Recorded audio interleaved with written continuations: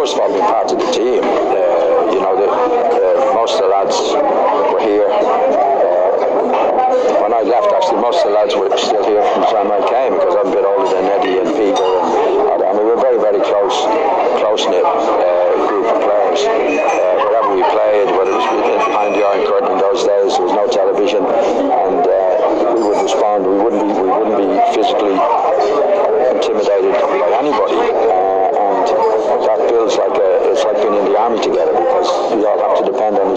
a bond because of that and that that's, uh, exists uh, to this day.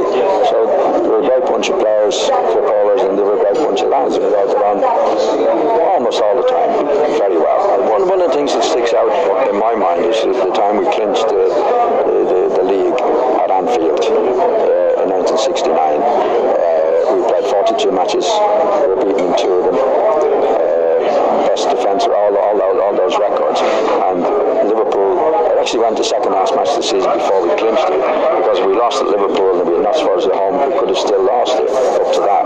So we never did anything easy. But to win the league is, is great. 42 matches, you have to be consistent. Uh, you can win the cup in six matches, seven matches. But to win it, I think that was a huge breakthrough for Leeds United. First time we ever won the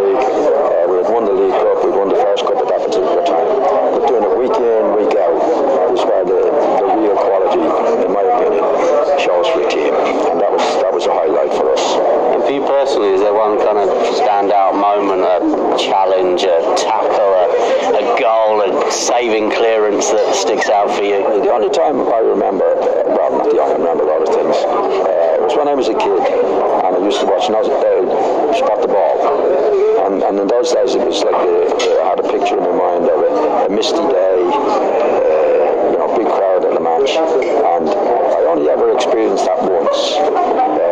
match here against West Ham. And I think we were 1 1. And it was a misty day. It was all the things that I thought about. And they actually hit a very good goal for us to win the match. So that stands out in my mind because when you're a kid, you dream of these particular things. And I remember thinking on that, that day, this is the type of thing I used to dream about. It didn't happen very often, but it was, it was, uh, it was something I'll always remember.